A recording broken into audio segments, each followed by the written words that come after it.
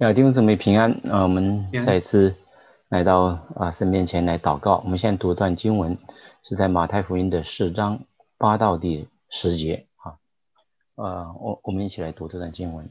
魔鬼又带他上了一座最高的山，将世上的万国以万国的荣华都指给他看，对他说：“你若服服拜我，我就把这一切都赐给你。”耶稣说：“撒旦啊！”退去吧，因为经上记着说：“当拜主你的神，单要侍奉他。”那么，这是魔鬼对呃道成肉身的人子耶稣的最后呃一个试探。那这三个试探虽用不同的方法，但目的只有一个，就是破坏人子与啊耶稣与神的关系。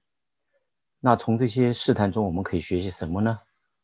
我们也可以看见，看我们可以至少知道一点：，魔鬼的伎俩虽然多，我们也看不见它，但是有一点我们可以做一个有效的判断，就是在做一个决定，啊之前，在做一件事情之前，问问自己：我所做的是否使我与神的关系适合？是否使我与人的关系适合，从而亏缺神的荣耀？如果是的话，就坚决不做。因为这一定是来自魔鬼的伎俩，来自他的试探。魔鬼的第三个试探看似简单，但是对人是对人性最大的挑战。许多人呢都能够处卑贱，在困苦贫乏中仍能够坚守自己的信仰不动摇。有的人虽然非常理性，但是也不会去寻求，好像一定要神来行一个神迹来试探神，来证明神的存在。但有太多的人却把这个短暂将要过去的世界当做永恒的家，在名与利面前没能站立的稳，甚至晚节不保。世上的万国与万国的荣华，就是名与利。这是啊，离开赐人生命的神，人类最大的一个悲哀，没能够没有能力来看破时空。心中虽有对永恒的渴慕，因为这本来就是神造人的时候，把永远安置在人的心里，但却会错误的用短暂代替永恒，因为离开了神。追名逐利，若不失属，把这个短暂的世界当做永远的家。有的人会说，我也没有拜魔鬼啊，我也不信神，也不拜鬼。实际上，一个追名逐利的人，一个把短暂当作永恒的人，就是伏在魔鬼的权势下的，就是在魔鬼。那这个试探中，耶稣说出试探者魔鬼的名字，就是抵挡的意思啊，就是就是魔鬼的别名，抵挡的意思。抵挡谁呢？当然是抵挡神。也就是说，只要把追名逐利当做人生的目的。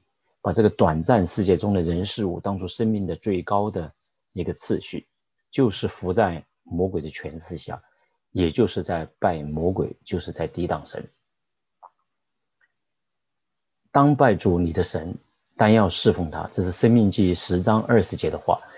魔鬼要人用名利短暂的事物代替神，耶稣可以说是一针见血的击穿了啊，揭穿了魔鬼的诡计。人唯有敬拜神，才能有真正的满足。敬拜神一定要顺服神，按他的旨意行，而不只是在有外在的一个敬拜形式。那么，人子耶稣在世上的日子，完全的顺服、顺服彻底的谦卑，向我们展现了何为真正的敬拜。当他与井边井边的妇人谈话的时候，他说：“神是灵要用心灵和诚实来呃敬拜他。”因此，真正的敬拜是不受时间、地点的限限制，是全人的敬拜，是一种容神益人的生活，不会随波逐流，啊啊，追逐追名逐利啊，跟随世界的潮流，会对邻舍、同事、朋友产生影响。单要侍奉他，表明侍奉神是生命生活的第一优先，不但不会随意的停止聚会、停止侍奉，而且会。不辜负主耶稣的托付，传福音、见证主。在这个如今的时代里面，哈，特别是美国最近发生的几年发生的一些事情，啊，许多弟兄姊妹都担心我们的下一代。但父孩子的最好的老师就是父母，是否在我们生命中啊啊是当敬拜神的，或者是单单的侍奉主的？我们的孩子可能看得非常的清楚，因为我们的敬拜不只是在周日，更是在家庭中，在我们的邻舍、工作场所。啊，我们是一个永生一人，以永生一人为目标啊来生活的这样一个人。啊，愿神保守带领我们，我们一起来祷告。主要感谢赞美你，你在旷野里面所受的试单，给我们做了美好的榜样。你表明在这个世上，我们也会同样遭遇这些试探，但是在你里面，恩主，我们就可以靠着你得胜，因为你已经胜过了世界。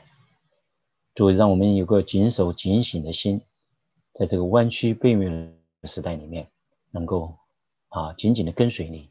见证你荣耀你，让更多啊我们的左邻右舍、我们的朋友、同事，因着我们生命的见证，能够认识救主耶稣基督。